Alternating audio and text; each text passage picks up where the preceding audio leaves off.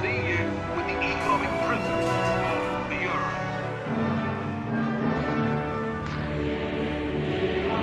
We do need an open society. To me, that's what a big society is all about.